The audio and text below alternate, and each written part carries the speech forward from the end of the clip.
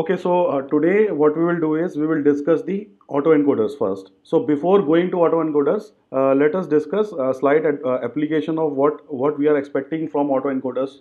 Uh, what are the typical applications of autoencoders? So before going to that, we need a slight motiv- motiv- motivation for that. So let, let us see what are what are the typical applications that you will use uh, in autoencoders. So let me change the colors first just to make it visible.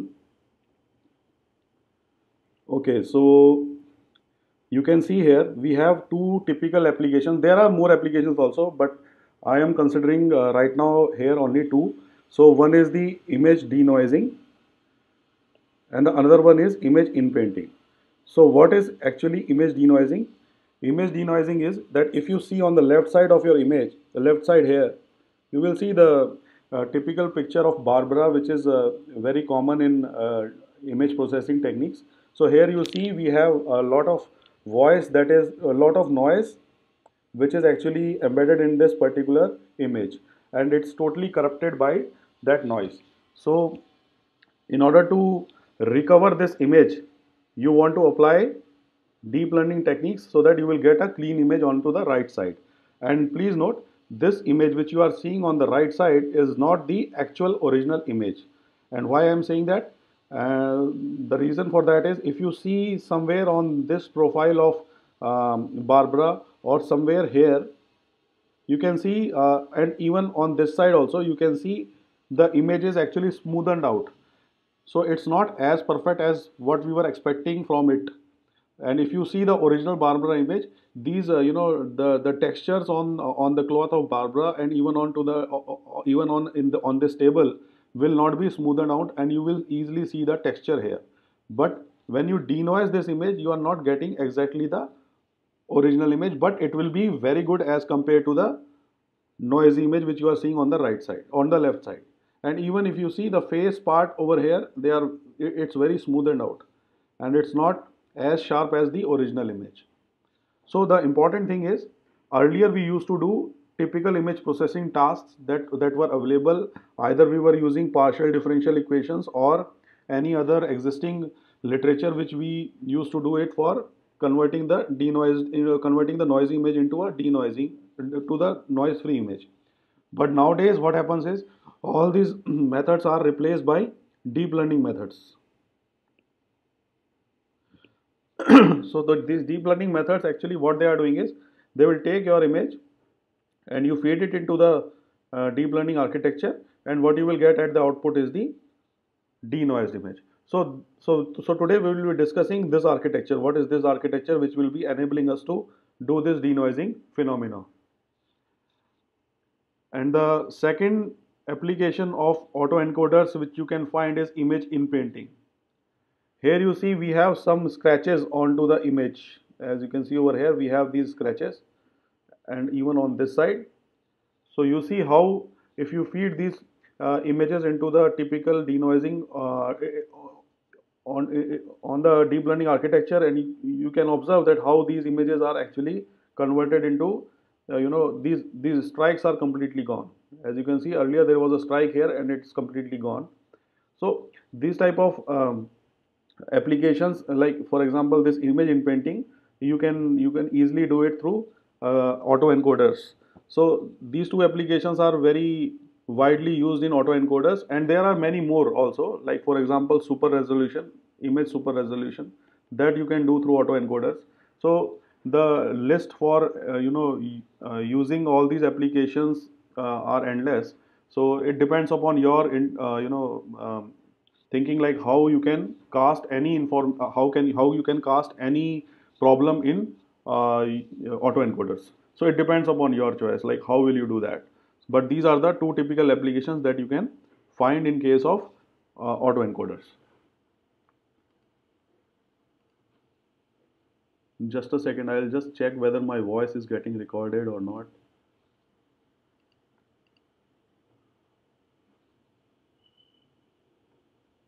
Okay so uh, it's recording. Okay so uh, let me change the screen again.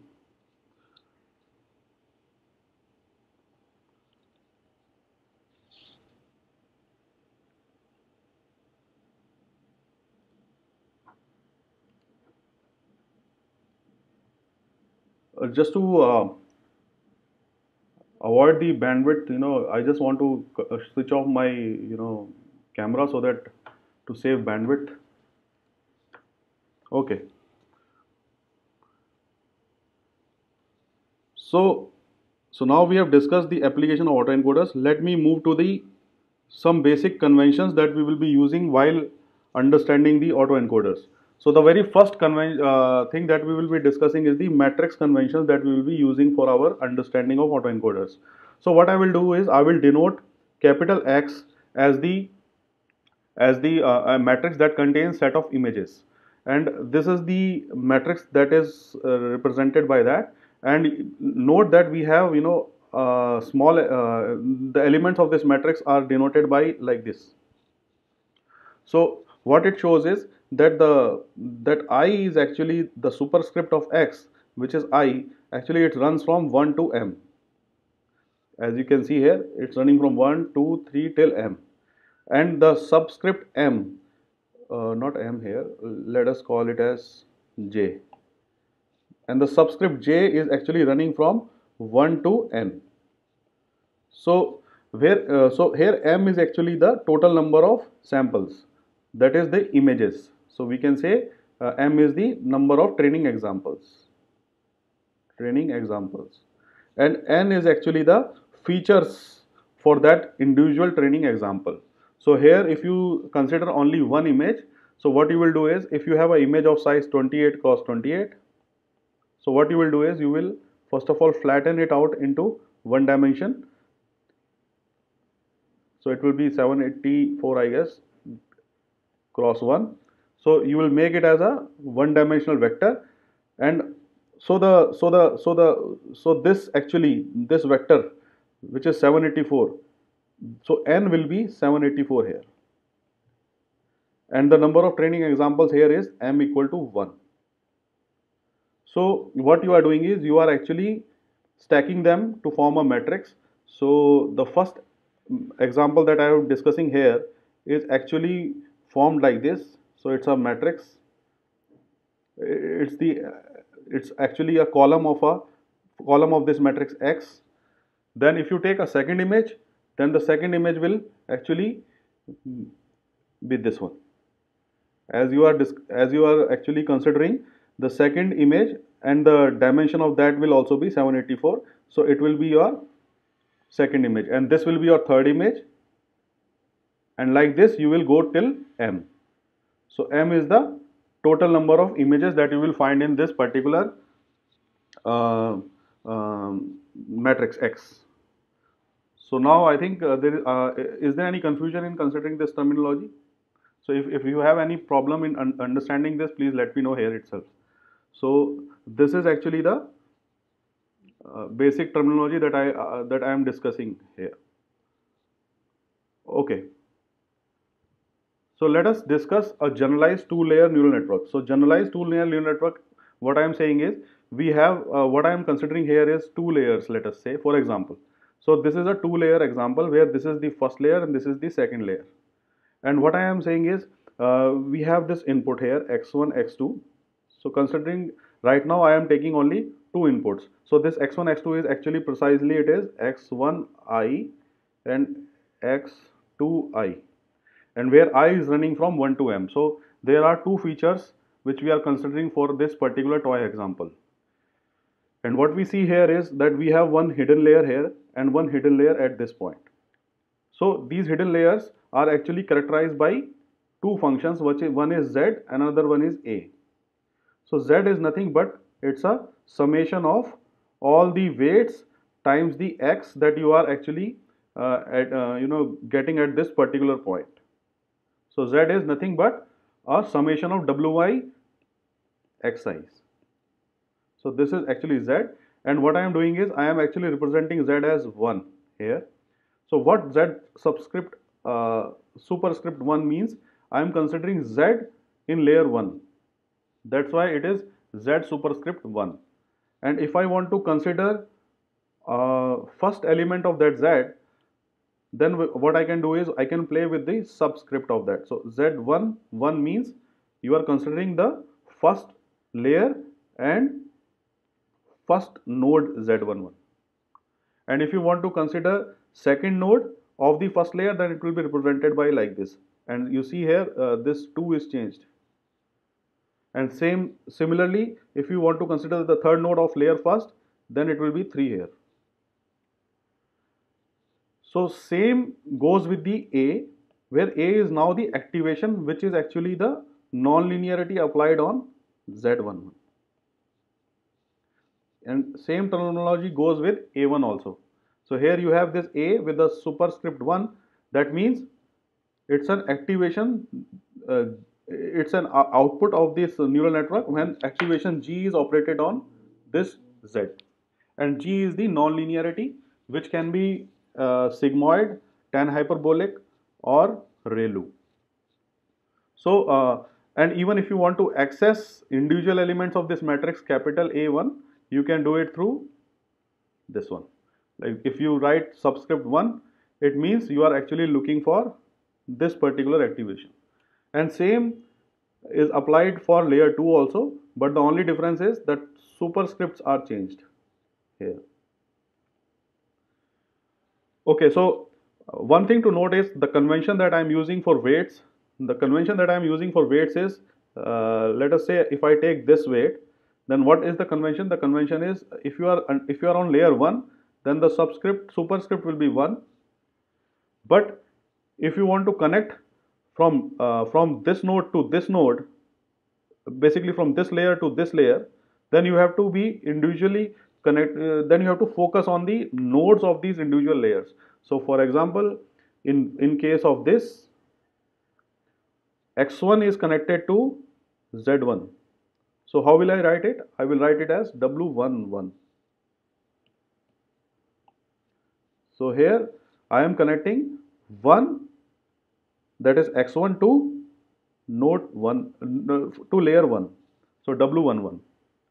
In this case if you see it is 1 2 that means you are connecting from uh, from input 1 to second node of layer 1 that's why it is w12 and you are at, you are at you are on layer 1 so that's why 1 is on the uh, superscript. Same thing if you see here let us say this example. So here what you are seeing is you are seeing w2 and you are connecting node 1 of layer 1 so that's why 1 here. And you are going to this point which is uh, uh, 3 uh, node 3 of layer 2 so that's why it will be w13 so like this. So this is the terminology or the convention that we are using for weights. So if you have any doubts uh, in relation to uh, these uh, conventions, let do let me know because we will be using all these extensively in our coming slides. So if you have doubts, please clear itself here itself. Otherwise, uh, it will again you know create confusions when you will discuss uh, slides. Next slides. Okay. So I, I suppose you don't have any doubts. So let me uh, proceed further. Okay, so what I'll do is, uh, what I'm doing is like, you know, we have a lot of weights and a lot of inputs and a lot of nodes. Like we have this hidden layers like this and this, and we have weights also, which we were discussing here. And you can see there are a lot of weights in this particular layer and there are a lot of weights in this particular layer also. So what we will do is we will re uh, represent them concretely using a single capital W matrix and the bias matrix which we will have which will be representing as this one W1 and B1 and W2 and B2. So if I am saying capital W1 means I am actually uh, considering the uh, uh, all, all, the weights that are here.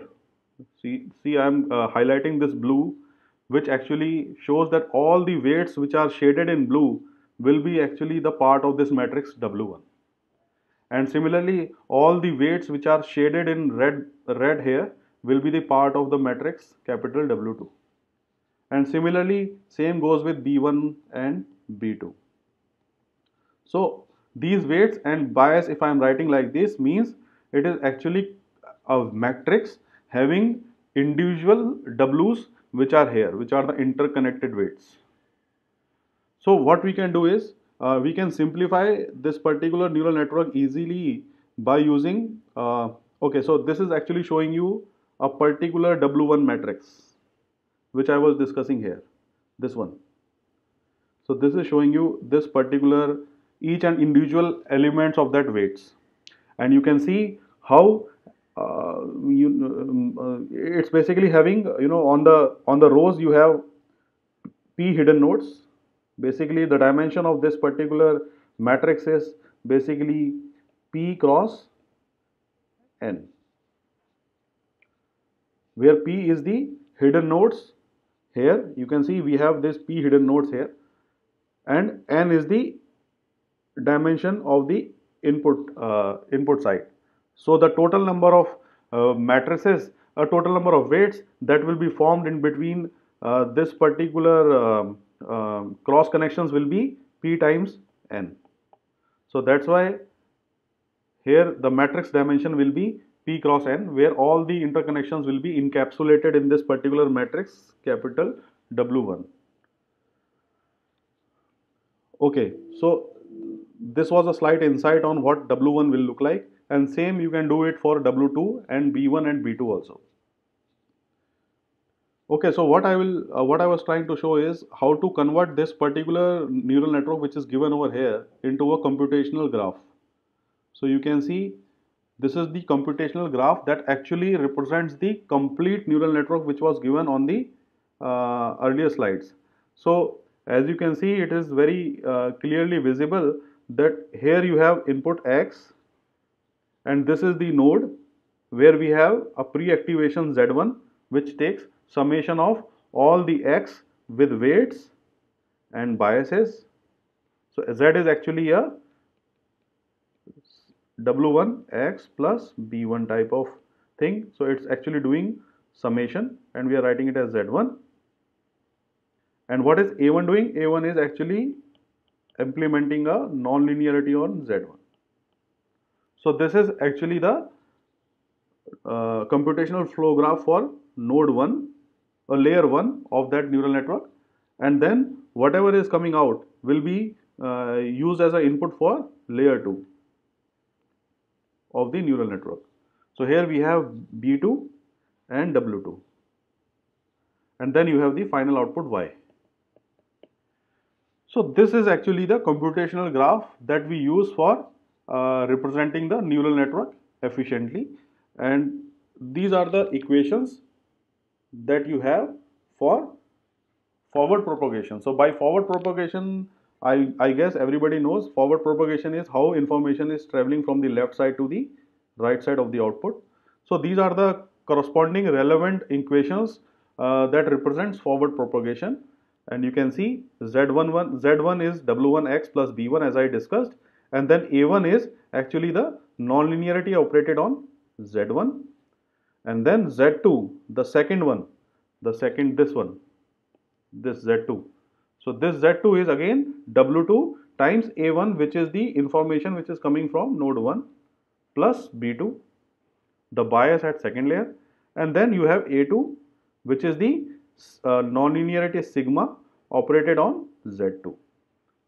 So uh, this I left this I will leave it for you guys to you know cross verify these are the dimensions of the matrices. So this is very important to you know um, uh, see because uh, it helps you out to justify whether the equations that you have written are correctly uh, uh correctly represented in terms of the mathematical form or not. And uh, the matrix dimensions should always agree. So you have to see whether it's true or not by checking all these uh, matrix dimensions yourself so so the topic of today's talk will be autoencoders so as you can see on the left side we have this autoencoder and what I am considering is, um, you know, a simple neural network to form this autoencoder. You can use convolutional neural networks also, which we, which I think Professor Bakul would have discussed in your uh, in the earlier lectures.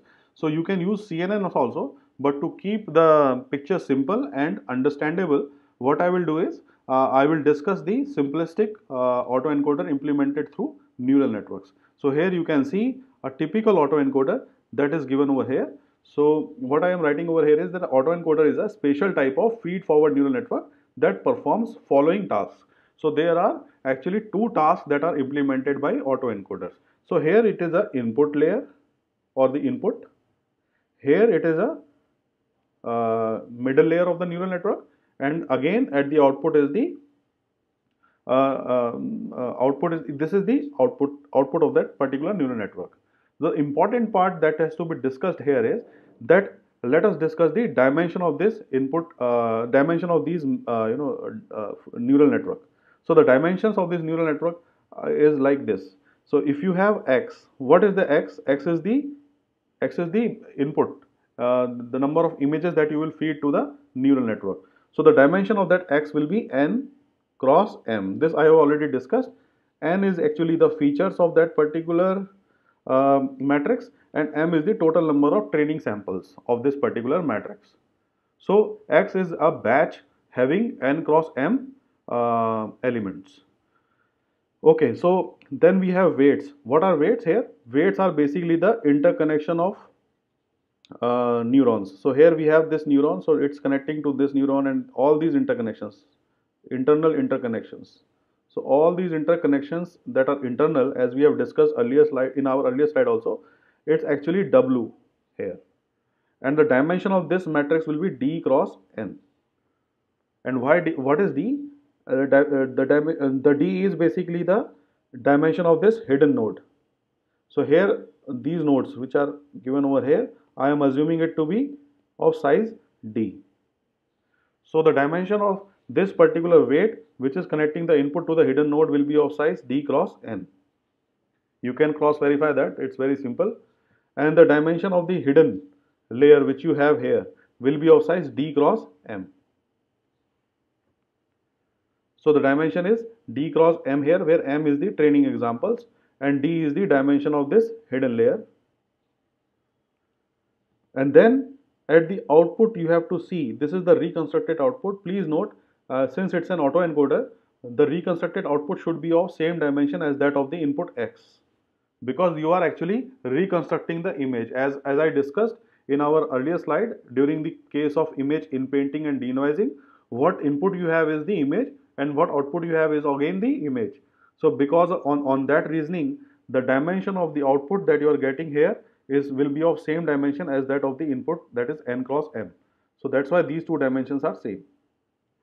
So when your hidden layer is of size d cross m, the weights which are actually connecting this hidden to the output layer will be of size n cross d.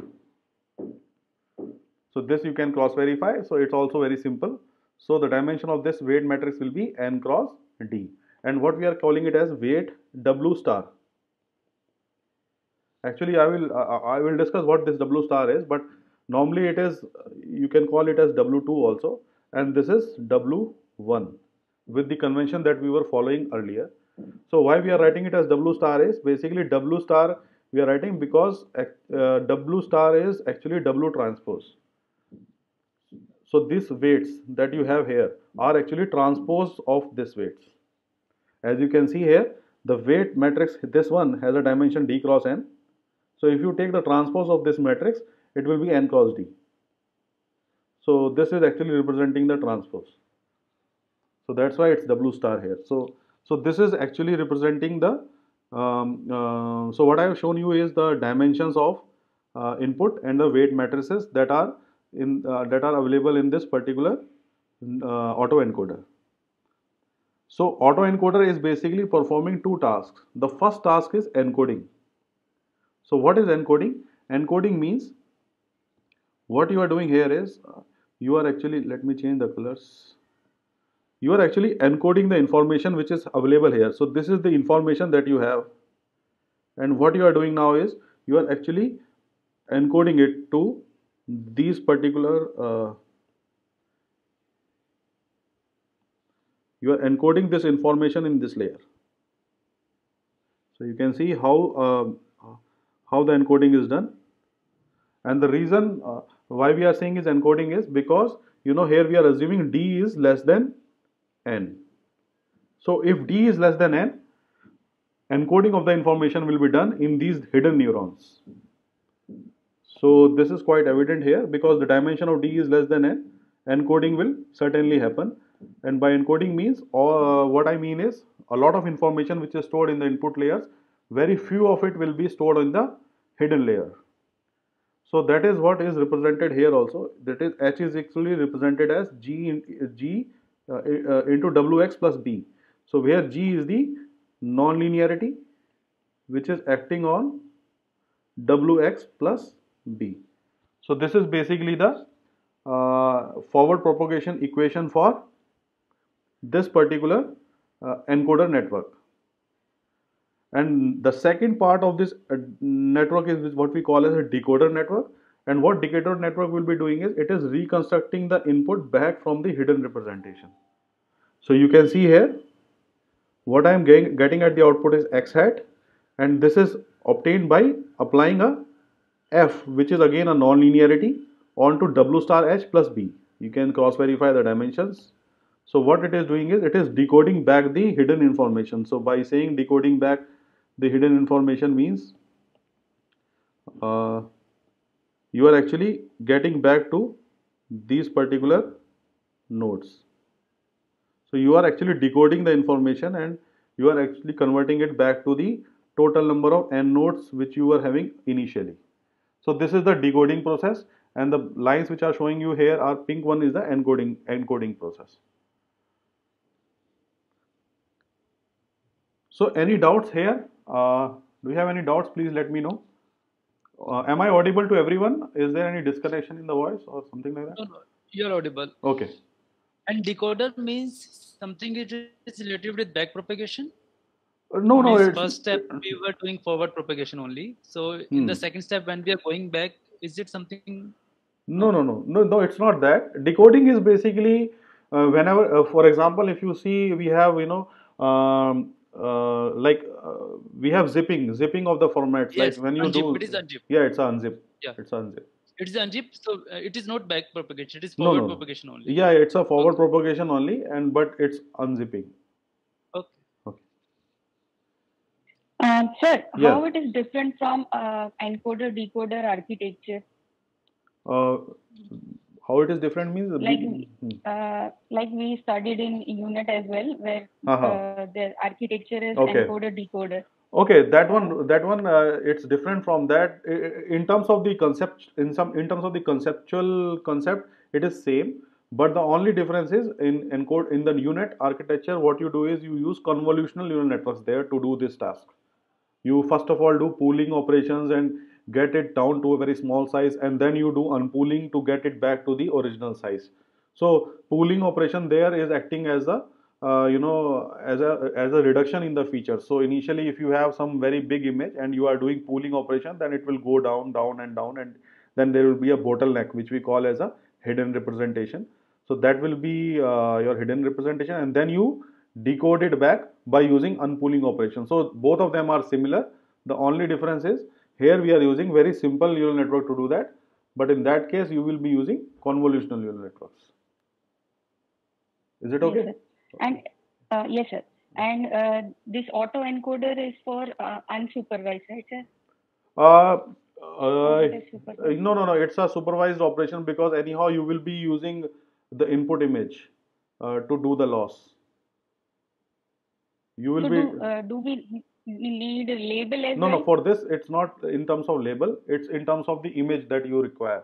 Because the original image is required here. We will i will show you later. Because once you want to calculate the loss you have to use the original image to do that.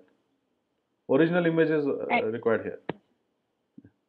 And since uh, we are not uh, using back propagation so how no no no we will, will, we will be we will be discussing that in our coming slides. I will show you how the back propagation okay. is done for this Okay? Yes. Okay. okay. so so this I guess uh, shows the concept and here it is actually showing you a pictorial representation of what is going on in uh, autoencoders.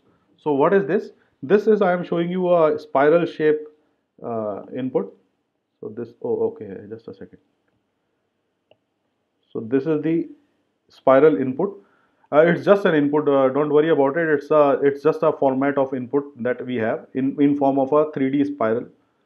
So what we are typically doing in autoencoder is we are suppose taking a particular point of this spiral and what we are doing we are using encoder to encode the image in this particular dimension z where we are saying it's a dimension of d cross 1 so this is actually showing you that same phenomena so how the input point of a of this particular spiral is encoded into a d-dimensional space which is this point. And similarly this point is actually encoded in this particular um, uh, point in z.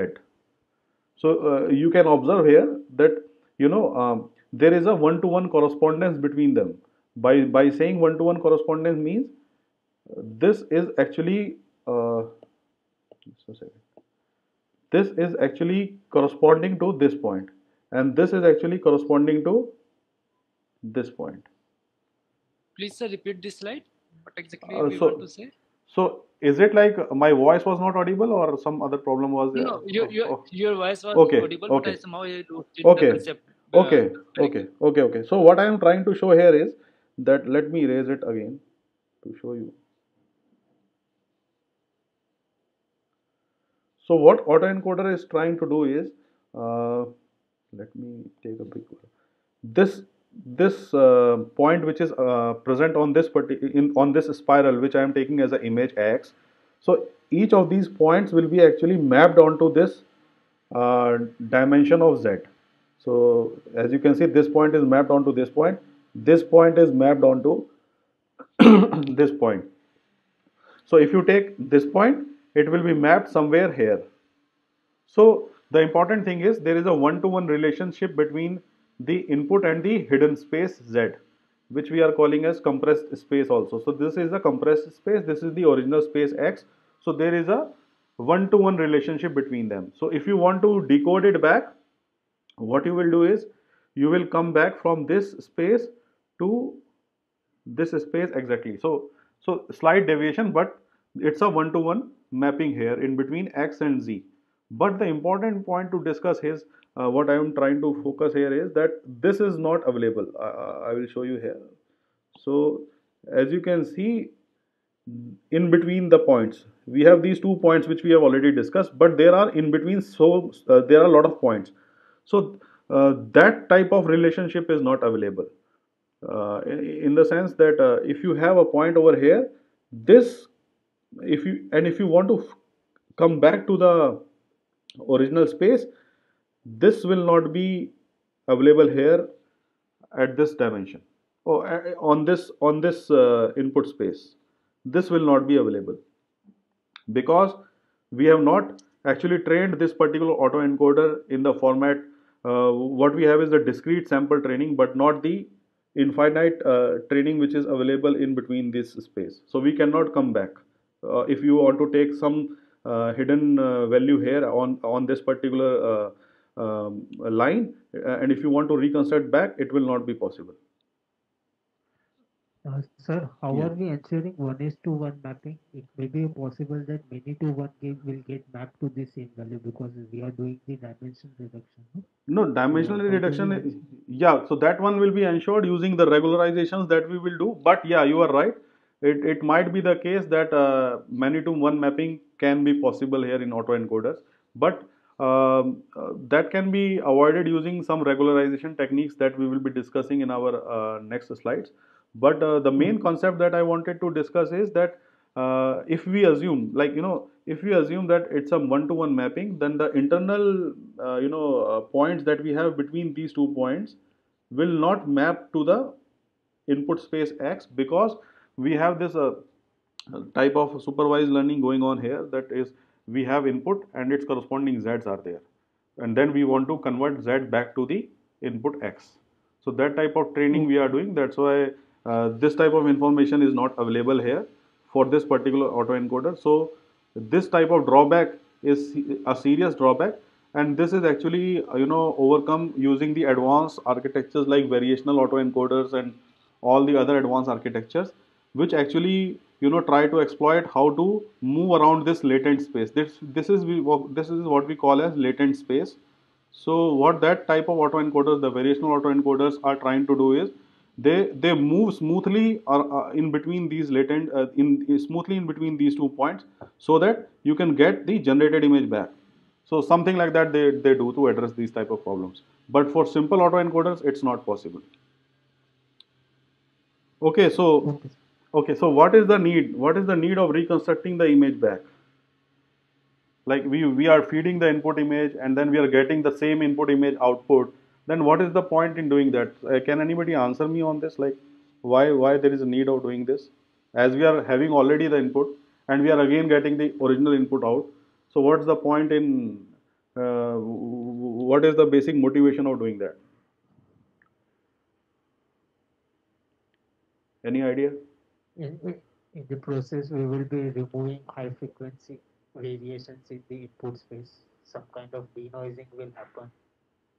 Ah that is the yeah that that that can be one of the reasons. Yeah some of the And, high noise uh, will be removed. Yeah true.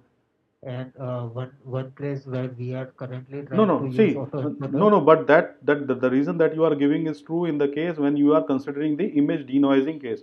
But if i am using Okay. only if i am using a clean image and if i want to compress it and then want to uh, decompress it back Uh, uh, then what is okay, the so advantage one, one, one, one place that we are trying to use the autoencoders is that we'll train the autoencoders okay the reconstruction that is the decoder stream and then we'll chop off the decoder so we'll get the compact representation of Okay. the image. right right So that is one place that we are trying to use this auto. Right, right. So actually, autoencoder is something like you know, uh, as what he has said is correct. That uh, what you will do is once you train the autoencoder completely, then you will throw away the decoder, and then what you can do is at the input side of your communication channel, you can feed the input image and get the compressed input, and uh, that you can feed that you can transmit it onto the communication channel, and that the receiver side you can have that decoder which is already trained and then that uh, that zipped uh, zipped format will be passed to the decoder to get back the image. So it's something like that that that that is the typical application if you want to reconstruct the image back is to get the compressed version.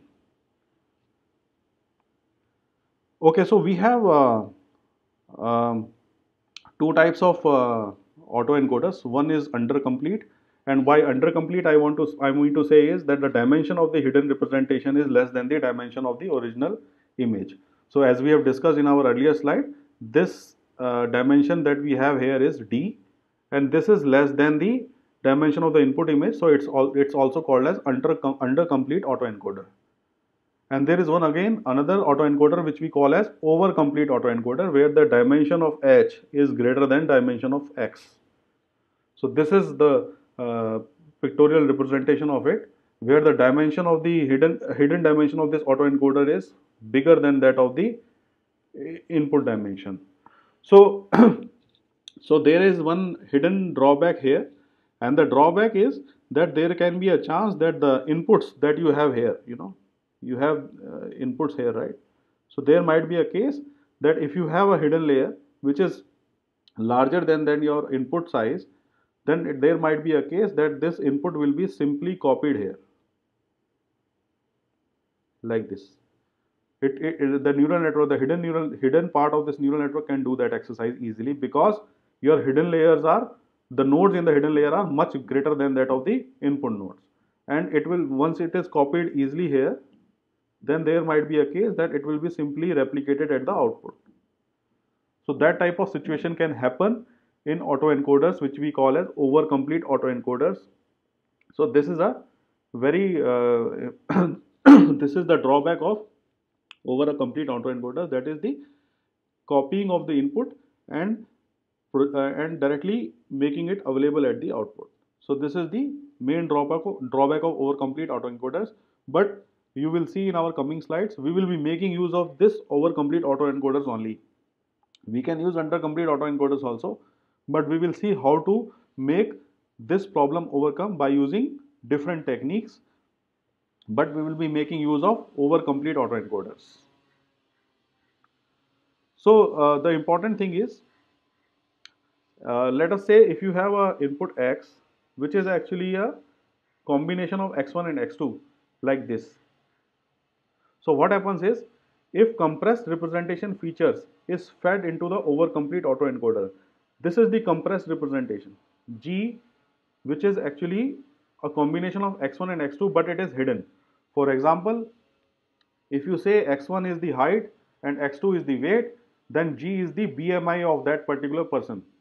So the weight, the height and the weight of the person is encoded it in body mass index and what we are doing is we are actually feeding the body mass index as the feature not as the height and weights we are not doing that so this is actually showing you that example that is we are feeding body mass index not the height and the weights. So if the compressed representation feature that is body mass index is fed into overcomplete autoencoder then the hidden layer must disentangle the features present in this complex function. G. What it means is the hidden layer should disentangle this complex function g by removing and getting these informations out from this particular complex function. So it has to disentangle the information which is stored in this body mass index and it want it, it should it should actually separate the body mass index into two parts and the hidden layer should represent one node as height another one as weight but there is a high chance that G is copied into the hidden layer. As we have discussed here, the problem of copying, there is a high chance of doing that. Uh, so what we can do is, we will be using some advanced techniques to avoid it. The first technique that we will be dis discussing is adding noise. So what we were discussing in the last is image denoising example. So it's acting as a regularizer. We will see how it acts as a regularizer when you add noise to a uh, image it's not that we are always discussing image denoising cases but in some other cases also if you add slight noise to the input it acts as a L2 regularizer that you can prove so that adding noise is actually adding equivalent to L2 regularizer so we will see that and the second thing is sparse and third one is contractive autoencoders so these three techniques will come under the regularization techniques and uh, we will see how this uh, technique of use how how these three techniques can be used to avoid this copying of the input to the hidden layer. We will see that.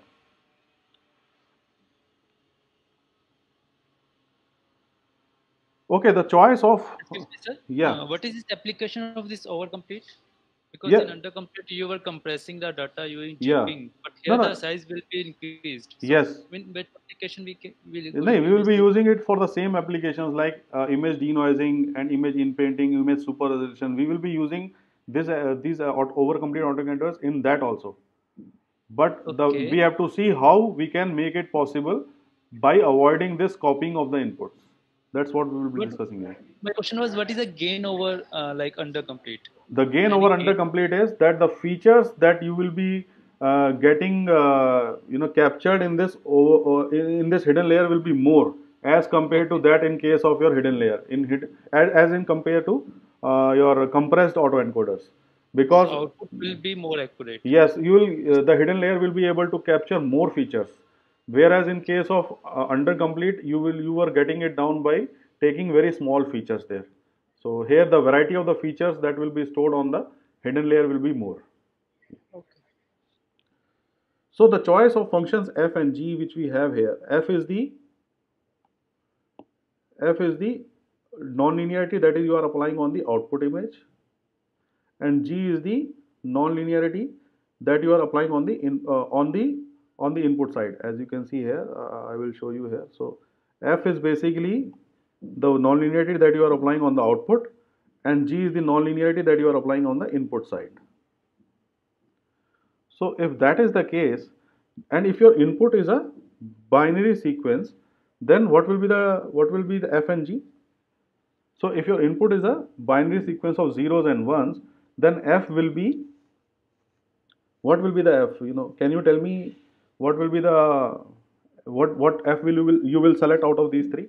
If you have an input which is a binary sequence, any idea? And your f is the non-linearity that you are applying at the output.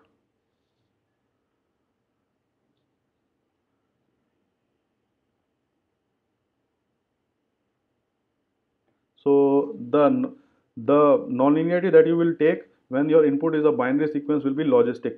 That is because the outputs are actually in between 0 and 1. Uh, outputs are either 0 or 1. So logistic will be the one which will be best suited for when your inputs are binary sequences. Whereas we will not use tan hyperbolic or identity or linear functions. In case of G, it can be either of it. Whereas if your inputs are real sequences like this, then we will prefer that f should be linear and not logistic, not tan hyperbolic because their ranges are limited in between minus and 1 and minus 1 and 1 for tan hyperbolic and logistic is between 0 and 1. So that's why we will prefer to have a linear units at the output without any compression.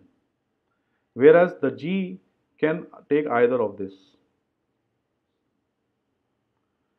Okay, so as as as I was discussing, uh, as somebody was asking about back backpropagation, so this is actually a computational flow graph of backpropagation. That is what backpropagation is all about. Here you can see we have this red curve, which is actually oh sorry blue curve, blue highlight, which is actually taking the loss between these two vectors, which are the this is the true label and this is the uh, output of the neural network, and we are taking the loss function, and we are calculating back the backpropagation, and you can see how the blue curve which is coming from the loss is uh, you know back propagating back to the input so the blue the blue highlights are showing you uh, how it is uh, taking the loss function at the output and calculating the loss which are given over here for the second node. So the important things that we note here is that we are calculating loss with respect to the weights and the biases of node 2 that's why the blue curve ends at these terminal nodes here. But then this blue blue curve is actually handling its computational process, uh, computational power to the red curve and red curve is actually taking it further back to node 1 and you can see how it is actually terminating at these two points where you have you know derivative of the loss with respect to w1 and b1 here. So this is actually showing you the back propagation which you already know so this is just a high level overview of that. So if the if the if the inputs are real valued, if the inputs are real valued, then the loss function is evaluated like this. And it's nothing but you are just calculating the difference between the outputs that you are getting at the output from that of the input. And you are actually doing it pixel wise over here. So it's a squared, squared loss. This is just a advanced version of representing that same thing. Okay, so as we were discussing backpropagation, what we are actually interested in is the derivative of the loss with respect to weights, the derivative of the loss with respect to W star, the derivative of the loss with bias, and uh, I guess I don't know why I wrote here C. So these three are actually important. That is, you have to calculate the derivative of the loss with respect to weights and biases.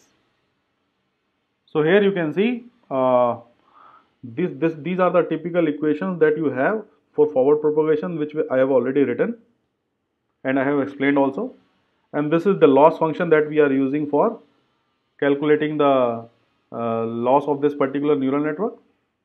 It's a squared loss represented in the form of matrices. So, so what we are doing is actually we are calculating the derivative of the loss with respect to weights that is let us say W star which is actually W2 here. So the derivative of the loss with respect to W2 will be represented in this chain form, chain, chain rule. What is this chain rule? It is actually you are calculating the loss with respect to A2 first. As you can see, loss is represented in the form of A2 first. Then you take the derivative of the A2 with respect to Z2 and this is actually here the A2 is represented in the form of Z2 that's why we are taking the derivative of the loss of A2 with respect to Z2 and then derivative of the Z2 with respect to W2 which is here. So in order to calculate the derivative of loss with respect to W2 you have to do this type of chain rule and you have to evaluate yourself what will that expression be. Similarly if you want to calculate the derivative of the loss with respect to W and that is equivalent to saying W1 it's actually same thing. W derivative of the loss with respect to A2 which is same here. Then you have same thing here. But now at this point you are taking the derivative of z2 with respect to a1 because you want to go back to this point so that can only be possible if you take derivative of the loss with respect to a1 and then you take derivative of a1 with respect to z1 and then you take derivative of z1 with respect to w1 so if you do that type of thing you will get the chain rule for this particular expression which is the derivative of the loss with respect to w1 so so this is the corresponding expression that a back propagation for this particular w1 and the derivative of the loss with respect to the output a2 will be like this which is actually the derivative of the loss with respect to A2. So this is over here and then you can do the back propagation and you can implement this. Okay, for binary sequences, see I have discussed here for input sequences which are real valued here. So in that case your loss is represented like this which in the form of matrix representation is represented like this. But in case when your loss is when your inputs are binary then you will be using binary cross entropy loss which is given over here. I think everybody knows this and uh, i guess there is no if you still need some clarification on this i can let uh, i can explain it. But if you if, if if if there is any doubts please let me know for this expression. I can explain it but if you don't have then we can move forward. So this is actually a binary cross entropy loss when your inputs are binary inputs. Please let me know if you want any explanation on this. If, if you have if you know what is this then we can move forward.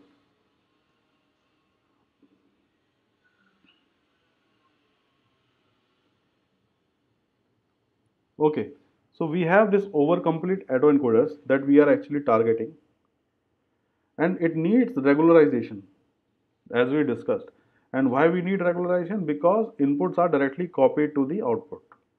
So that's why we need regularization for this particular overcomplete autoencoders. So regularization is actually represented something like this where you know you write the cost function as LREG where this is the regularization. And then what you do is this is the original loss that you have for this particular autoencoder. As you can see here the loss that L orig I am saying is this loss. This is the original loss that we have here. This one. And this is the additional you know term that we are including along with this loss which is lambda times this particular function f. This f is not the same f that i have i have uh, you know used in our earlier slides. But this f if you want you can uh, just to avoid confusion you can write it as you know something else but right now i have taken it as f so this is actually a function which is a uh, which is actually a uh, combination of W, W star and B. So you have to come up with your own regularizers what you want. Like for example, you have L2 and L1 which are quite famous, but it depends on you whether you want to use this or this or you can use some other regularizer. So what they are doing is they are actually implemented somewhere or the other in this fashion. That is, it's a combination of W, W star and B. And this lambda is actually called as a regularization parameter which actually trades off between this term and this term. So it acts, as, it acts as a weighting function that balance out between L orig and the regularization f that you are using on the on this side. So there is one the, the one way of doing it is through this that I have discussed. The another way of doing it is through weight tying. By tying of the weights means as we have discussed that W1 and W2 are the two matrices for this autoencoder. And what we are saying is W2 is actually W1 transpose which we have already discussed. And what we do is instead of using separate weights for W and W2 and W1 we will keep them same. That is the matrix that we will use for W1 will be the same matrix that we will use for W2 but it will be just the transpose of the original matrix and we will learn that single matrix only. So if you are learning that single matrix instead of two matrices, the number of parameters that are involved in this particular neural network will reduce a lot and that will help in avoiding the overfitting of the neural network. And the reason for that is because number of parameters that is the weight parameters will reduce to you know only one matrices instead of using the two matrices so it will reduce the chance of overfitting. So this type of thing also can be used. And this is also actually regularization is also somewhere you know you, uh, using uh, for the uh, you know just to avoid overfitting we are using regularizations so this is actually two ways of doing it to avoid uh, to avoid overfitting okay so this I have already discussed this is actually a image reconstruction tasks where you have original image and what you are doing is you are actually encoding it onto this bottleneck Z. This Z is the bottleneck which which has a compressed representation of the input and this is the encoder which is doing that. And this is the decoder which is actually going back to the original input space. So it's a decoder here. So the loss function of this particular uh, expression is represented like this. It's also simple.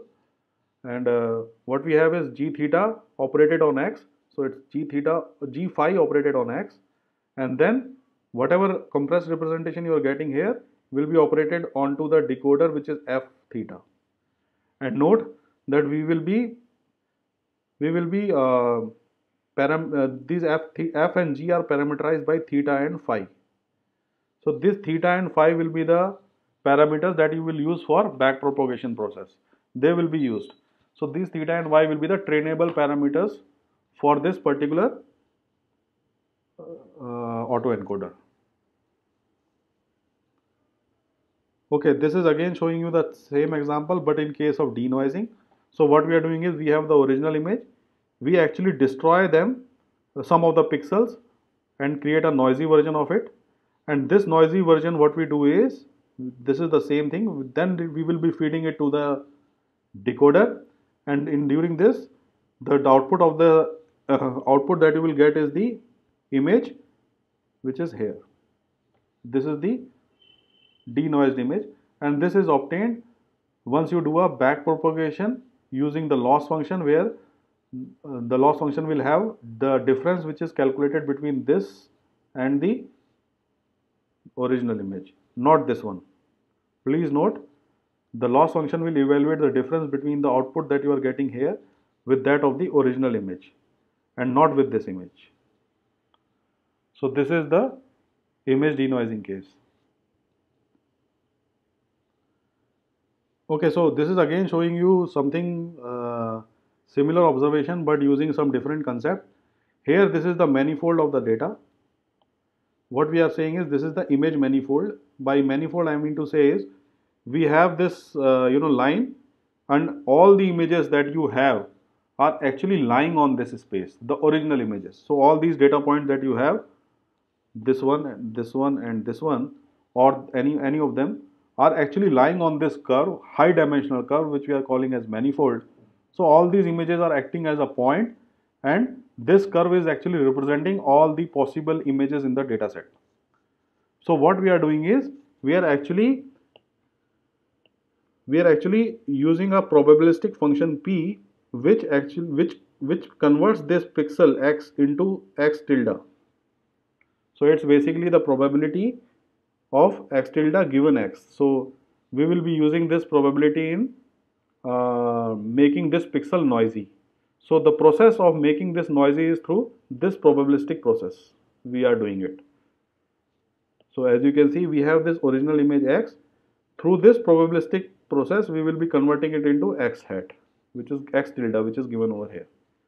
And the denoising process is how to get it back to the x is done through autoencoders and this is the probabilistic generation probability uh, uh, generation that we will be doing for converting x to x tilde. So one important thing that i want to discuss is that the over and complete autoencoders we will be you know avoiding that copying of the input to the output. That is that is the problem that we were discussing in our earlier slides. That can be avoided by using the regularization by adding noise. So you can see this is the first way of doing it that how to avoid copying of the input by adding noise.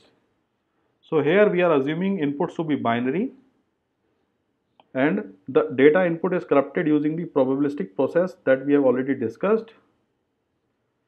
And what we are doing is we are actually taking probability of x tilde to be 0 with a probability of alpha and the probability of x tilde to be 1 given the input xi to be 1 minus alpha.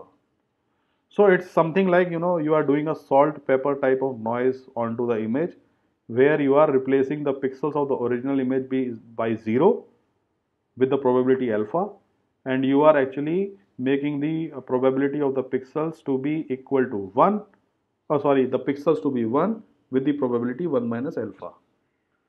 So it's like that.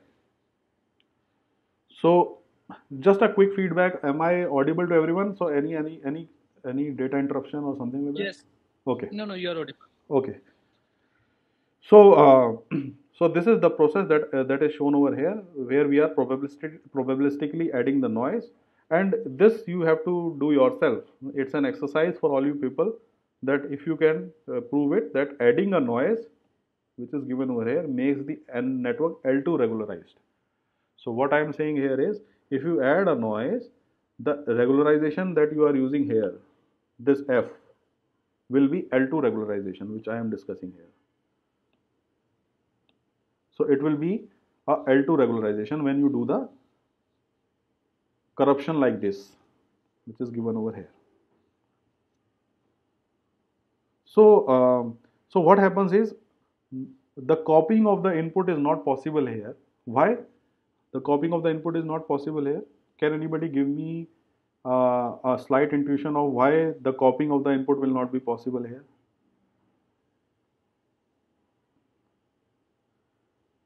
By using this corruption that we are doing.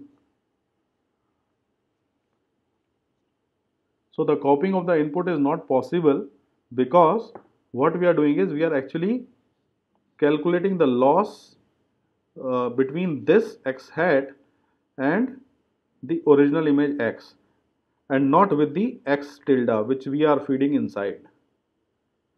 So this x tilde is different from x and what we are doing is we are taking the loss between x hat and x not x hat and x tilde.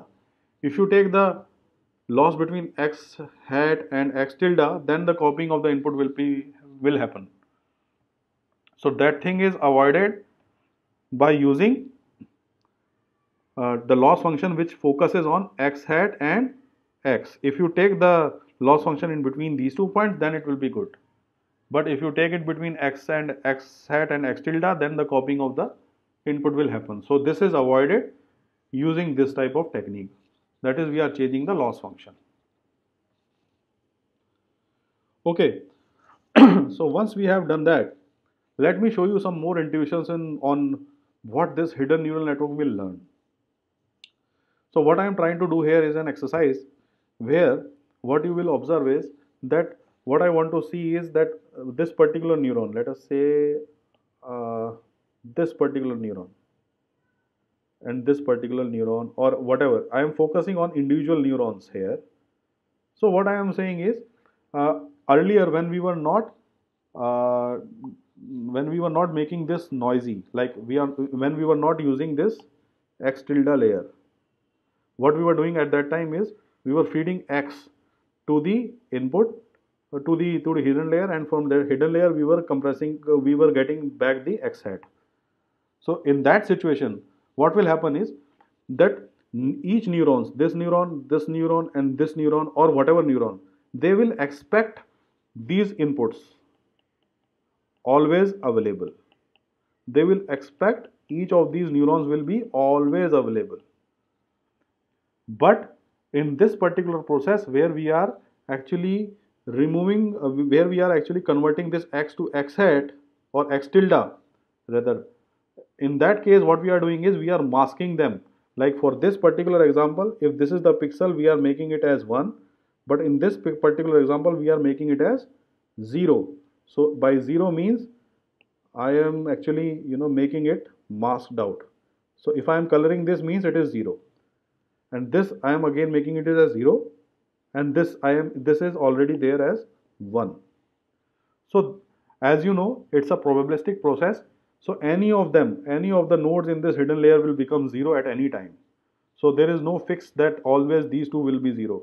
There can be a chance that all of them, some of them will be 0, not all. Some of them will be 0 or in the next process, 3 of them will be 0 and in the next process, 2 of them are 0. So depending upon that, that how many of them are 0 or not, this neural network in this situation, this node of this new hidden layer of this uh, uh, denoising autoencoder will be very much in concern. Uh, by concern means it will get confused and it will not rely on this neuron. Like here we have these three neurons, right? So in this situation, it will not rely on this neuron in learning the features of this data because it knows that somewhere or the other some of the inputs will go away and it will act as a uh, some of the neurons some of the inputs will go away and this neuron will have to learn it itself. It will not depend upon this neuron. Whereas in case of sir, yeah yeah. so can, can we say this is similar to dropout applied to one layer because what you said is some of the some of the ways this is similar to the dropout right? uh this one you are saying is similar to dropout yeah. It is somewhere the same story yeah. Okay. But uh, uh, yeah it is it is applied only to one layer yeah yeah. yes. yes.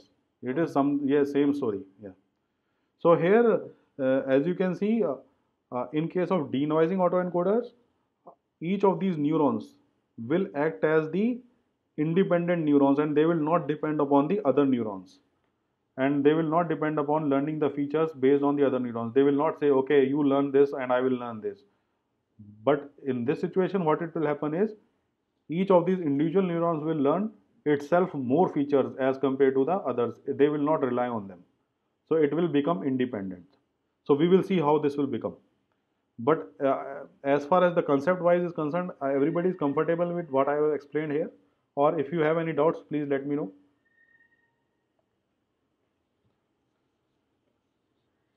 Yes sir. Okay. Okay. So so so what we have said is each of the neurons will become independent and they will not be dependent on the other neurons when we add noise. So let us say uh, let us do some small analysis. What the analysis is that we can think of each neuron as a hidden layer as a filter which will fire when the certain input configuration will happen. So we will see what that is. As you know, if you consider this particular uh, neuron and you see this neuron is actually getting inputs from all these inputs this one this one this one and this one through w11 w21 w31 w41 so I am actually considering this particular neuron and we will see when this will be fired or when this will be activated. I want to see that. So that can be done by using this analysis where we have this activation A1.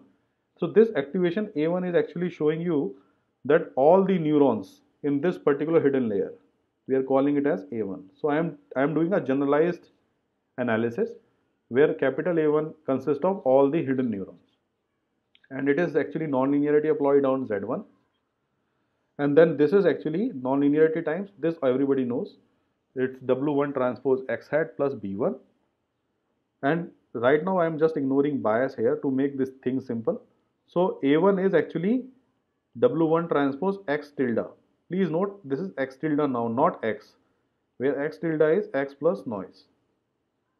And w1 is actually represented as a vector which is over here. So this I have already discussed that what is this. So you can check that I am representing W11 as W11, 21, 31 and 41. You can cross verify. So what I want to see is when will that be maximally activated? So by maximally activated means I want to see which input actually activates it in a maximum fashion. So that can be done when this is maximum. So we want to calculate x hat that activates A1 maximally. We have to see that, that what is that.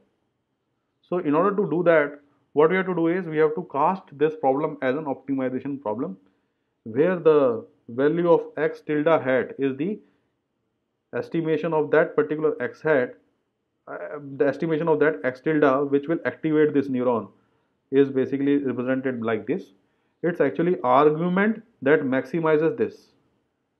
So what we are saying is we want to maximize this argument and what is the value that do it x tilde and this x tilde the value that we will get here is the estimate of that x tilde and we are actually constraining the inputs to have 1 the L2 norm of that as 1 to simplify our uh, study. So if we have this optimization problem, then we can use Lagrange multipliers to solve this. So if you form a Lagrange multiplier here, uh, equation of that, that will be W1 transpose X tilde minus lambda times this. This is the constraint that we have. This is the Lagrange multiplier. So once we have this, then what we do is we take the derivative of the loss with respect to the X tilde first. So when you take the derivative of the loss with respect to X tilde, you will get this expression. And once you have this expression, you can simplify it to get this expression. It's very easy. If you take the derivative, you will get this. The second thing is you take the derivative of the loss with respect to lambda.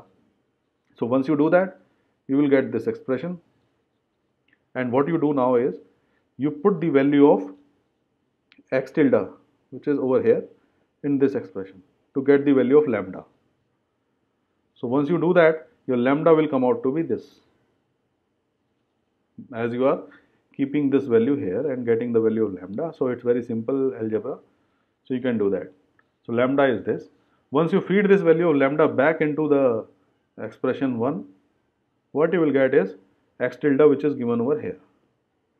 So this is basically the estimated x tilde that will actually activate the neuron in a maximum sense. So if you want to do it for each of the neurons. For example, in this case, what I am doing is I am considering only one neuron. This one. This particular neuron. Uh, let me change the colors. This particular neuron. But now if you want to check for this one, this one, this one, then you can do it similarly and it, you will get the same expressions here but the only difference will be this will change. W2 in case of dth node of that hidden layer dth neuron of that hidden layer it will be WD here. And this W2 is actually this matrix a one dimensional one. Whereas in case of W11 earlier we had this one. So if you do this type of analysis then you know Thus, this W11 will be a, uh, in this particular case, if I am taking a 28 cross 28, then it will be a 784 cross 1 dimensional matrix. So what I will do is, I will, uh, what I, what we will do is, we will change this 784 back to 28 cross 28 image to see what this particular neuron has learned. So if we do that, you can see these are the three images that we will observe here. In the first image, we have no noise case. That is, each of these blocks that I am showing you here, like you know, if you see these blocks, each of these individual blocks, they are actually the image of the neurons that you are having here. So in case you have D neurons, then the dth neuron will be here. And this is the first neuron in the hidden layer. So you can see when there is no noise, the features that you are learning from these hidden layers are uh, not that relevant. You know you will see something like this here something something here. But other other other other than that uh, these features are not exactly that good. You are not able to capture the features of the input properly. And that is why you know in case of no noise uh, in, i think input is directly copying it to the output. That's why you are not able to capture that much of information here Whereas in case of 25% noise, when you take 25% noise, then you can see some features of the input are actually becoming prominent. As you can see here, you have this feature getting prominent. In this side, you are getting this particular feature prominent. This side, you are getting this particular feature prominent, and this one, this side. So they are actually, you know, strokes of the MNIST data. For example, if you have two, so in this two, what happens is uh, this particular if you see is actually focusing on something like you know this feature. So this purple feature which I am showing here is actually represented somewhere like this. So it will always capture this particular uh, you know part of the two. And it will activate when this type of phenomena occurs. So this happened when 25% of the noise was done. In case of 50% noise, now you can see, you know, these all neurons are becoming independent of each other and they are not relying on the other as I was discussing earlier. In this case, you know, they are all relying on each other and they are learning collaboratively. They are saying, okay, you also learn and I am also learning. So based on that, they are learning collaboratively with each other's help. But when you are putting the noise, then they become afraid like they don't know which will which of the neuron will get shut off and whether they will get zero, whether they will be able to learn or not. So in that case, during in that situation, they are learning themselves and they are not depending upon the others. So that's why the features are becoming prominent here. But in case of more noise, you can see they are becoming more independent of each other and now you can even see that even the digits are also available. You can see the digits looking like, you know, it's seeing one here. So it, they are actually detecting more prominent features like this. Earlier it was a very small part of this, but now it has become so dark. And the reason for that is as the noise is increasing, they are becoming more relevant and they are not depending upon the others, other neurons. So this analysis actually was done in this paper. It's a very good paper. If you want, you can uh, you can go through it. It's by Vincent et al. in ICML 2018 paper. There they have done this analysis. And this is again showing you that same story but with a zoomed out version where we are focusing on this particular part of the image that is i equal to 1. So I am looking for all the i equal to 1 here. This one, this one, this one. So you can see how adding the noise actually helping the features to get learned more as the noise is increasing. You can see now this is more, more independent. And similarly, this is for d equal to 2 where you can see earlier there was no feature learning here in case of zero noise but now it is able to learn this particular type of feature in the MNIST dataset. Okay, so this is again showing you that same thing, but uh, here we are taking the natural image patches and this is the denoising autoencoder and this is through L2 regularization. So you can see the denoising autoencoder is able to learn the features very clearly as compared to that of the L2 regularization. You can see here all the patches are able to learn the features very uh, efficiently here but in case of denoising auto uh, in case of L2 regularization it's not able to do that.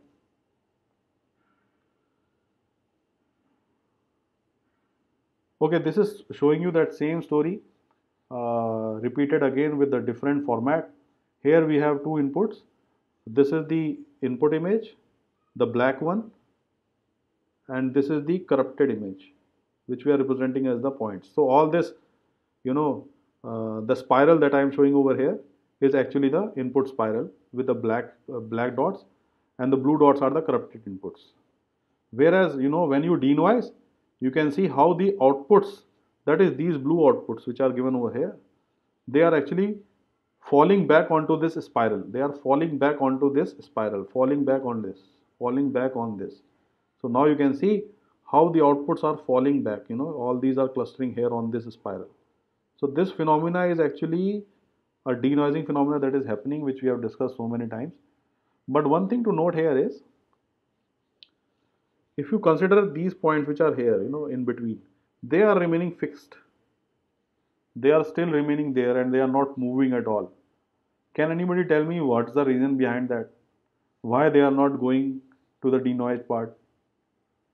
Uh, to, to, to, to, to, to this one or this one? Why they are not going there? Any idea? Any reason of, uh, like why it is happening like that? Can anyone answer me this question okay so the reason for that is if you calculate the gradient vector flow for this then you will see that all the points which are available here on this particular you know locus will get force from this side or this side. So actually there is you know two types of forces which are acting on these points. That's why these points which are here will remain here itself. They will not move whereas in case of other points depending upon the gradient vector flow which I have plotted here not plotted here I have taken it from this particular website. So what they have shown is the gradient vector flow diagram for this particular image. So what what you see is you know uh, these gradients are showing you that if you have a point somewhere here then the direction of these gradients will move it to this point. Direction of these gradients will move it to this point like this. So that is what is shown over here but in this particular point if you see the local uh, the, the the gradients are in this direction also and in this direction that's why these points are not moving at all. Okay so if you have any questions please let me know. Otherwise we will move forward to another technique of sparse autoencoders. Uh, am I audible to everyone? So any any any disruption in the noise or something like that? please just have a I want to have a quick uh, feedback. Uh, sir, you are audible. Okay, okay, fine. Okay, the second thing that we want to discuss is the sparse regularized autoencoder. This is the second way of avoiding the copying of the inputs which we are feeding from X to this side and you know uh, just to avoid the copying of the input that we are doing it through sparse regularization over complete autoencoders. So what that is represented is in this form. Here we have, you know, original loss function and then we have a lambda times the sparse penalty that we will discuss. So what we will do is we will force the some of the neurons to become inactive. So as you can see here, the highlighted nodes which I am giving over here are inactive. We are forcing them to inactive. In earlier case, what happened was, you know, it was becoming inactive because of you know uh, we were depending upon the noise like if that noise is making that input zero or not. But here uh, we are making deliberately these hidden neurons inactive by using the sparse penalty. So i guess everybody knows about what sparse means. So if, if, if anybody has a problem in understanding what sparse means then i can discuss that please discuss it Okay, so by because saying previously we were saying some probability to give it zero or one. Yeah. Here yeah. we are also giving some forcefully the same thing to uh, maybe zero. Yeah. So sparse penalty is basically you know uh, we will I will discuss details of that, but in terms of sparse, what it means is if you have you know a vector having various values like 0 0.2, 0 0.1, 0 0.7, 0.8, something like that. And if you make this vector like this 0, 0, 0, 1 if you make something like this you know then it, this vector is called as sparse vector because most of them are 0 and except 1 so that type of concept what we are doing what we say is that this is the sparse vector and this is the dense vector. So we make you know we we want to make some transformations which can convert a dense vector which is given over here into sparse vector. So that is the similar exercise that we want to do it for hidden neurons so by sparsity i mean to say that. So once that is clear what I want to show here is now what we want to use is we want to use a average activation of each unit in the hidden layer close to 0 we want that. The average activation that is on an average each of these units should be 0 that's what we want. Like for each of the samples that we are feeding in we want for most of the samples that we are feeding each of these neurons should be 0 that is what we want exactly. So in that case we are keeping that value as 0.05 for example and this is actually called as the sparsity parameter rho. So this is the sparsity parameter rho and what we want is we want this rho to be 0.05 on an average. Like you know if you are putting more samples on an average it has to be mostly 0 that's why I'm putting that value as not 0 exactly but 0.05 that is rho so if you want to calculate the uh, activation of a particular node here, you know, I'm considering this node, let us say, the first one. Uh, sir, yeah. Sir, one doubt. Uh, now that we are working in the hidden layer, yes, uh, to make it sparse, uh, is there a necessity to still have X tilde? Yes, actually, you know, no, the, the thing is, you know, yeah you can do that but the problem is if you are targeting image denoising applications then you have to do it right? It's not about image reconstruction always. Since we are doing image uh, i told you that image uh, noise making the image noisy is some way or the other doing l2 regularization but it's not exactly l2 or l1 as you can see here on the earlier slide which i have shown you when i was saying that a denoising autoencoder is acting as a l2 it means in a very in a very you know uh, very simplified manner when we assume lot of you know assumptions on the derivation then we say that denoising autoencoder is becoming equivalent to L2 regularizer. But if uh, but but there is a lot of difference. As you can see even the L2 regularizer the the filters that are learned by the uh, neural network is completely different from that of denoising autoencoder and when we were saying that denoising is somewhere equivalent to L2 then the answer should also be the same but it's not that. So even though we are saying but it's not.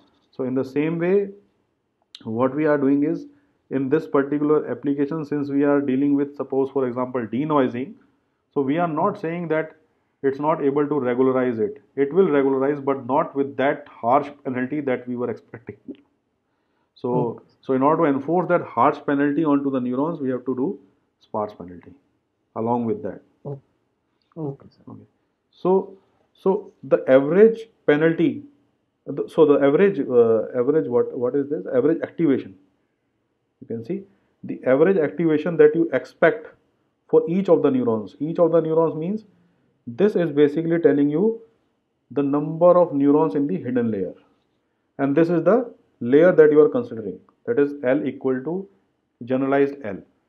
So if L is 1 that we are discussing will be hidden layer 1 in L is 2 then it will be hidden layer 2 but right now I am considering only single hidden layer so L is equal to 1 so here the generalized you know uh, sorry not generalized the average activation rho hat will be given like this which is the training samples that you have you are averaging with that value and you are taking all the samples like i equal to 1 to m train and you are actually firing that uh, example or that activation with all these inputs i equal to 1 to m train. So this is what is showing over here. So what you are doing is you are actually calculating each time the activation of layer or activation of node 1 for each of these examples i so as you move from i equal to 1 to i equal to 2 to i equal to 3 to i equal to 4 every time you are calculating the activation of node 1 of hidden layer 1 so our objective will be to keep this average activation that we are uh, saying here.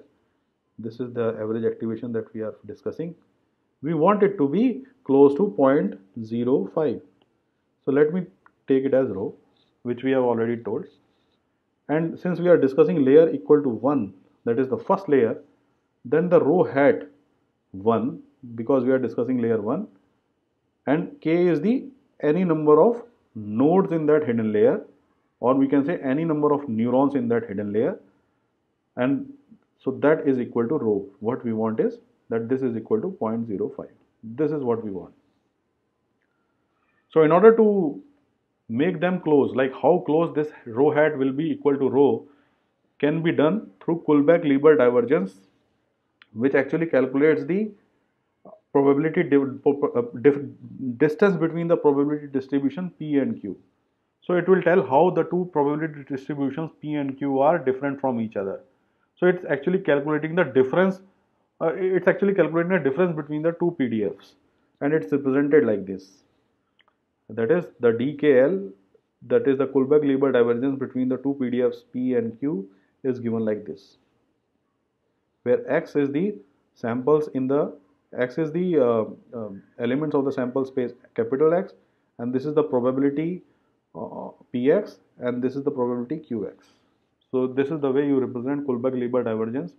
A small example to illustrate that is that if you have you know uh, you know uh, three samples 0 1 and 2 and if the probability of each of these samples is 1 by 3 1 by 3 1 by 3 in case of px in k and qx is 2 by 5 1 by 5 and 2 by 5 if that is the case then you have you know you plotted out px and qx like this which is given over here. So what you do is you calculate the values by substituting these you know you can check that by yourself. So the values when you will put it here you will get the value of 0.05 so what it shows is that the, the similarity between these two PDFs is only 0.05 they are not that similar. So this is actually the Kullback-Leibler divergence between the two PDFs so we, if you want to calculate that you can do it through this. So what we are doing here is actually uh, we are treating uh, this variable that the rho as a Bernoulli variable. Because you know the probabilistic uh, noise when we are doing the probabilistic uh, uh, as you can see here what I am doing is I am corrupting the inputs using a probability of 0 a probability of rho and 1 minus rho. So it is actually acting as a uh, distribution which follows Bernoulli distribution. And it also suits the theory of firing potential also. Like you know when firing of the potential happens it happens with the probabilities uh, p and 1 minus p. So it also suits that suits that uh, theory of neuron fighting firing potential. So based on this bernoulli distribution uh, concept if we want to you know write the KL divergence between the two that is the rho and the rho hat then what we can say is that it will be like this. This is the distribute uh, uh, KL divergence between the two distributions and this is the pictorial representation which shows that if you take rho as 0.2 that is the average activation potential 0.2 then the estimated rho hat if it becomes 0.2 then the Kullback-Leibler divergence is 0 as you see that the two probability density functions are exactly same but if you move away from that the KL divergence will increase significantly. So it will act as a penalty function. So what we do is we will actually we will uh, just a second I will highlight it. So we will be acting using this as a regularizer along with this loss function. This is the original loss function that we were having. So as you can see, we are running K from 1 to D and D are the hidden neurons. Earlier we are focusing, earlier we were focusing on one neuron in the hidden layer, but now we have D neurons in the hidden layer. So we are actually uh, summing up all the activations of the D neurons in the hidden layer. And since we are taking layer 1, so it will be 1 here and k will be ranging from 1 to d. So if you take a particular example that as we have you know already discussed this particular thing for layer 1 node k. So if we take k equal to 1 here, so if I take k equal to 1 by substituting that value here, then what will what we will get is this expression. We will be having 1 here and then you can expand it further and you will get this expression and this is nothing but a non-linearity operated on z and then z can be represented as a linear combination of w x and b. So this is the first activation estimation. Oh sorry this neurons this neurons this is the first one in layer 1 and its average activation. So this is this one. So if you do it uh, so this is so what you observe from here in this particular expression is that this rho 1 1 actually depends on w and b. We have this w and b here. So this is actually the function of that. So let me call this expression which I have written over here as this beta. Let me call that which is the summation of all the d neurons. So this is already explained earlier. So if you take k equal to 1 because I am running k equal to 1 till d. So I will take each of the individual terms. So the first term when I will take k equal to 1 it will be like this. So each of these k's will be replaced by 1. So these are the ones here.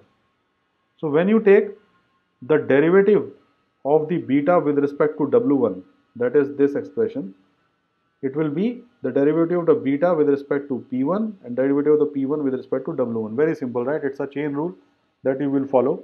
And why we are doing all this is we want to calculate the back propagation equation for sparse autoencoders that's why I am doing this. So so now when you uh, so in order to calculate the back propagation values you have to calculate this value and you have to calculate this value. Once you calculate these two values you will feed in in this expression a and you will get the value here. So first of all we will focus on calculation of this value. So this value is nothing but you know uh, I have this expression. So I am just using log of a by b as log of a minus log b. So when I use this expression here for this particular expression what I will get is this. It's very simple I am using log of a by b as log of a minus log b. And then if I do the derivative with respect to p1 then I will get this. It's a simple differentiation. Now the second thing is you want to calculate this expression. This you have already calculated just now this has to be evaluated and this is actually this and this we have already derived earlier on page 31 as you can see uh, I will go to you know not 31 this one. This already is evaluated here as you can see here. So this I am just directly copying here. And now what we have to do is we have to take derivative of P11 with W1 so in order to do that you can follow this analysis and you will find that the derivative of the P1 with W11 will be this. It's a simple analysis that you can do using linear algebra and multivariate calculus. So once you have this expression ready, then you can plug these two values that you have calculated, this value and this value in this expression. So once you put these two values here, you will get the value of this expression for k equal to 1. This is the complete expression. And similarly, if you repeat this for k equal to 2, you will get this expression which is given over here. For k equal to 3 or 4 or 5 until d, you will get this expression which is given over here. It's just repetition except you know these values will be now changing every time. And now you can combine all these equations which are C1, C2 and C3 to represent in a very compact form which is A times B. And this is the Hadamard matrix multiplication between A and B.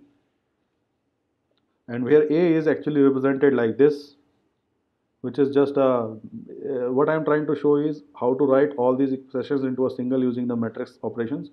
So this is A and this is the corresponding B. So you can see that when you have all these uh, values calculated, then you can evaluate this expression which is the derivative of the beta with respect to weights. This is very important because this will be used in your back propagation when you are calculating and updating your weights as W new as W old minus alpha times the derivative of the loss with respect to weights. So this what I was what I was shown you is the derivation of the back propagation in case of sparse autoencoders. So if you have any doubts here, uh, then we can discuss. Otherwise, I will move to another part of the autoencoders.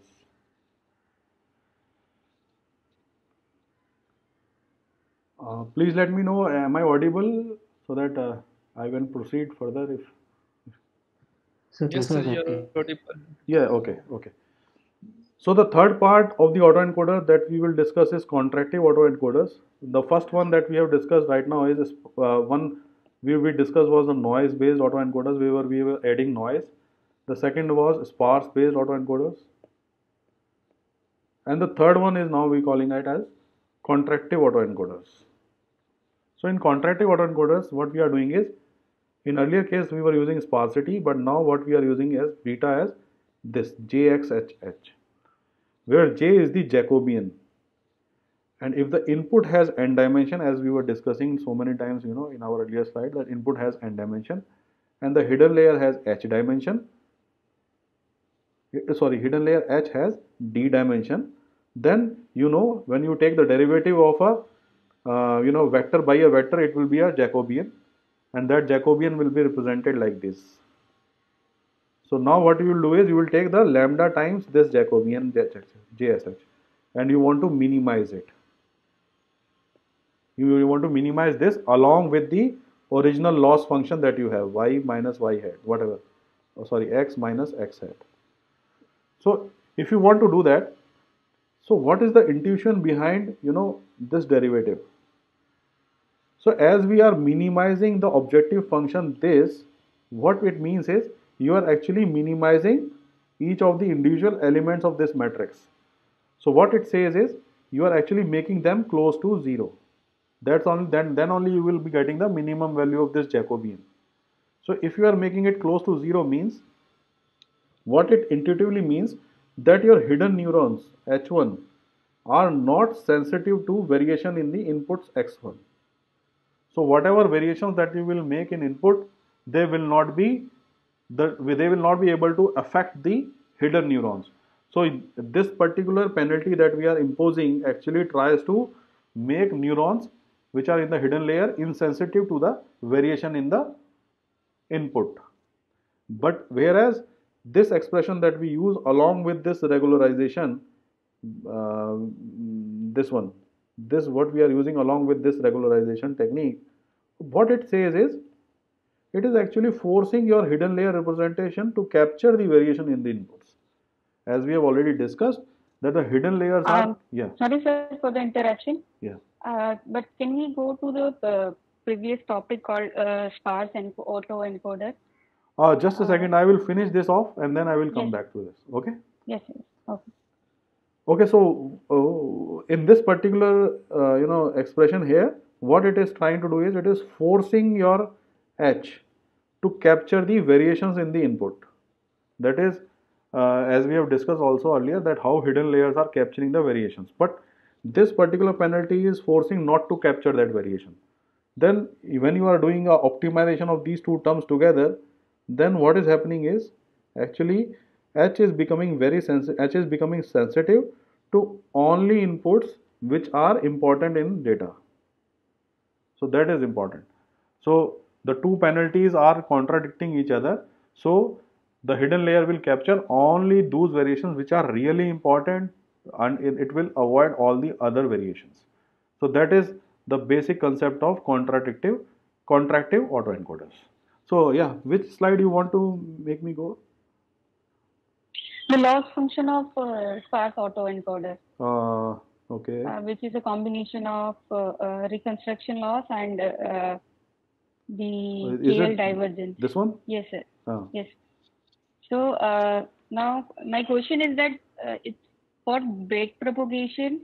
Mm-hmm. there is a combination of here the loss function combination of reconstruction loss. I can mm-hmm. understand the, how the back propagation occurs but for the uh, for the KL divergence, where mm. we want our uh, latent space distribution to be equivalent to our prior distribution, which is input distribution. Mm. So, how do back propagation occurs?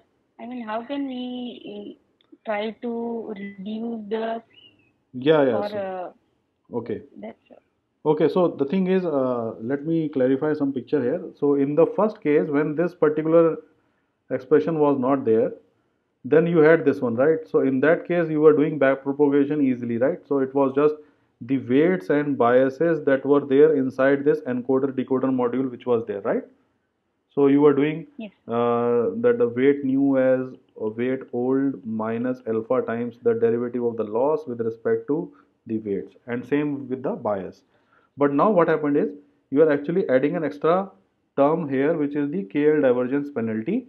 And you see inherently somewhere or the other this particular rho hat which we have here is again a function of w and b which is given over here. As I can show you that if when I was deriving this rho hat you can see that this rho hat here is again a function of w and b.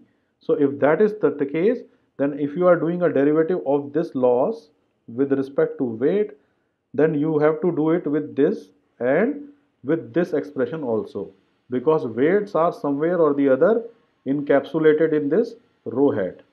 So if that is true, then you have to calculate the derivative of this loss uh, and this loss, this particular loss I am calling as beta in our, you know, in our coming slides which you have already seen.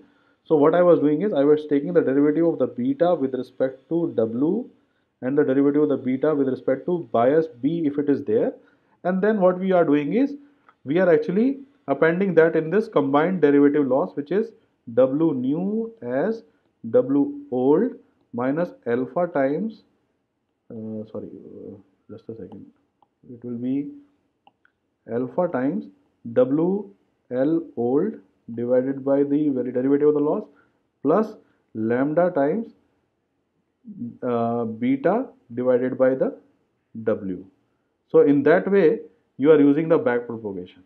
Am I am I okay with uh, uh, is it okay that you are uh, this explanation or you need some more? Yes sir. Yes. Yes sir. Okay. So this is the way we are doing uh, the back propagation where we are taking the derivative of the beta with respect to W also into account. Same thing goes with the bias. So you can see this derivation here we are doing that same thing that is we are taking derivative of the beta with respect to W which is given over here and I have written also that it will be used in back propagation. Okay, so this finishes off with the concept of autoencoders and uh, uh, uh, yeah. So one question, like yeah. in sparsity, we can understand the word sparsity. Okay. Uh, but here in contractive, what is contracting? A contracting is actually contracting means it's actually uh, uh, trying to avoid any other variations uh, other than this manifold. So if you have this manifold here, right? So if these images are here, right, the original images. So contractive means it's actually trying to promote uh, promote this direction only, the direction of the manifold. It's not, uh, it's avoiding this variation which is onto the orthogonal side or any other variation which is not important to it. So okay. it's trying to do that. So that's why it's contractive in the sense it contracts uh, the gradient, it contracts this locus and it will make it move along this manifold only. Okay. Okay. Okay. okay. Okay. Uh, and uh, sir, one more question. Usually these things are applied. Uh, right now we have considered only uh, one hidden layer. Okay. Usually yeah. they are done in, if there are uh, uh, more such layers. Hmm. Then is it done on other layers also? Yes. selective It can be done on other layer also. As as somebody was from your class also discussed about dropout. So dropout is also selective.